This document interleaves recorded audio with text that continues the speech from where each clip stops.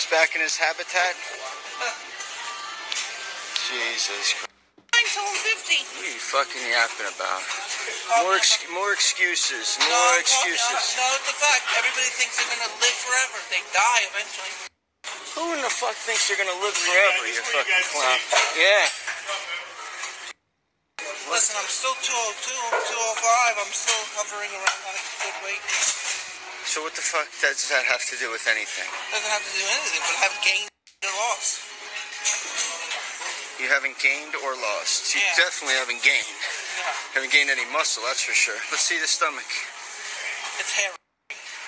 It's hairy. It's hairy. So is your fucking dick. Why were you running around the locker room butt naked, dude? Nobody wants to see that fucking mushroom cap. Shut up, it's a room. Anybody can go in the men's room and do what they You're want. like the rest of these old men that just walk around butt naked in there, man. it's sick, it's piss.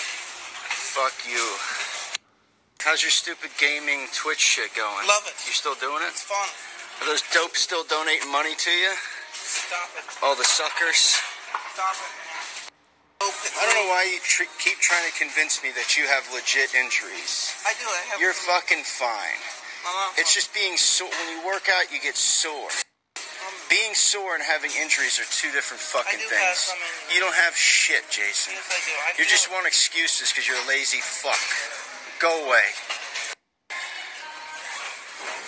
This is all he fucking does. That's all he does. Look at him. Look at him. Flexing and walking around like a dipshit. It's sick. It's. All morning long. All morning long.